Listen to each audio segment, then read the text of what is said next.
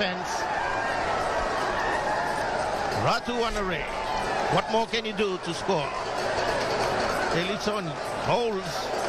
Francis miscued again by Hussein and Ratu Anare with the easiest, as easiest of chances.